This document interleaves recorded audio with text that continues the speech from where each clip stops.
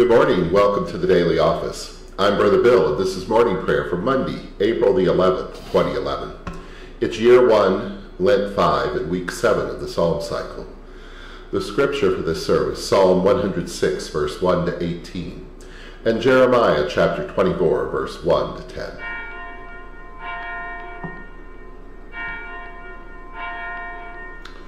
Open my lips, my mouth shall declare your praise. Oh, give thanks to Yahweh who is good, whose mercy endures forever. Psalm 106. Oh, give thanks to Yahweh who is good, whose mercy endures forever. Who can tell his mighty deeds? Who can recount all God's praises? They are happy who do what is right, who at all times do what is just. Oh, remember me out of the love you have for your people. Come to me with your help, that I may see the joy of your chosen ones, and may rejoice in the gladness of your nation, and share the glory of your people. Our sin is the sin of our ancestors. We have done wrong, our deeds have been evil.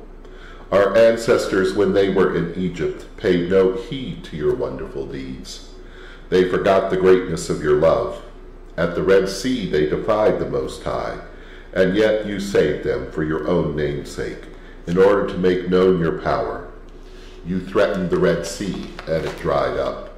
You led them through the deep as through the desert. You saved them from the hand of the foe, and saved them from the grip of the enemy. The waters covered their oppressors. Not one of them was left alive. Then they believed in your words, and then they sang your praises. But soon they forgot your deeds and would not wait upon your will. They yielded to their cravings in the desert and put you to the test in the wilderness. You gave them all they asked for, but sent disease among them. And then they rebelled, envious, envious of Moses and Aaron, who was holy to you. The earth opened and swallowed up Dathan, and buried the clan of Abiram. And fire blazed up against their clan, and flames devoured the rebels. Glory to you, source of all being, eternal word and Holy Spirit, as in the beginning, so now and forever. Amen. Oh, give thanks to Yahweh who is good, whose mercy endures forever.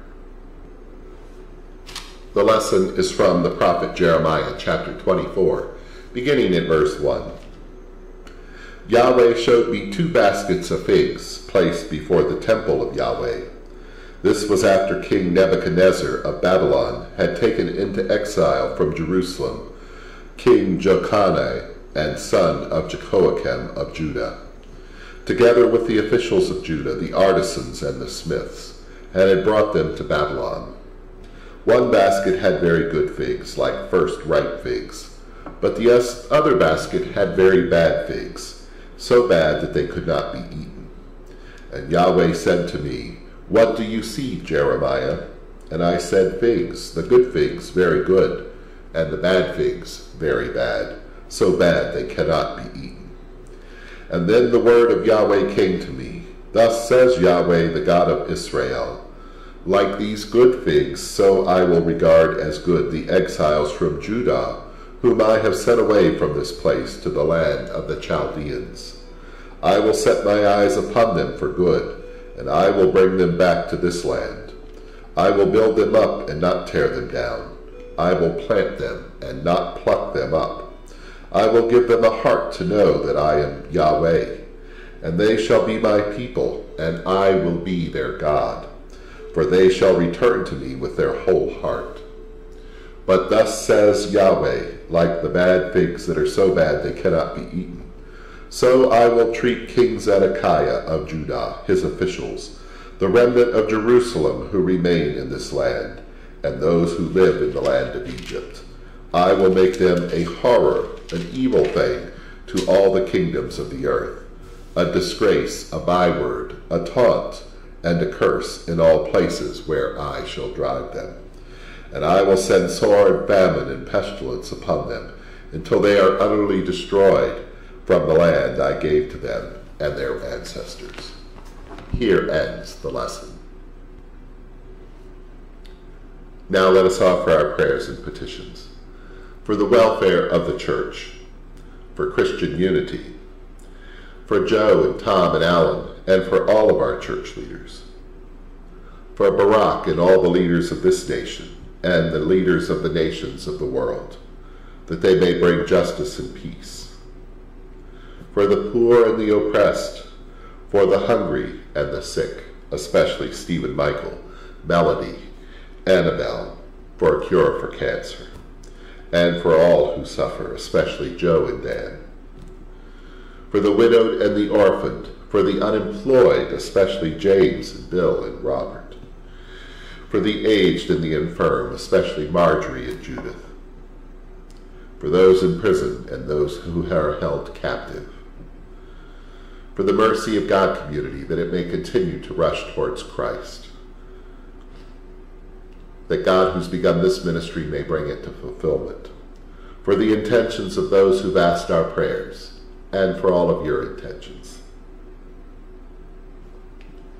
Our beloved in heaven, holy your name. Your kingdom come, your will be done, on earth as it is in heaven. Give us today our daily bread. Forgive us as we forgive others. Save us from the time of trial and deliver us from evil. For the kingdom, the power, and the glory are yours, now and forever. Amen. Let us pray. O God, you call us to begin this day in dedication to you. May all who need your help today experience your love and compassion through us. Bless all the children of this world, especially those suffering starvation, malnutrition, and disease. May all Christians come to their aid and provide them with all they need. This we ask in union with all the innocent and the poor in spirit who stand in your presence now and forever. Amen.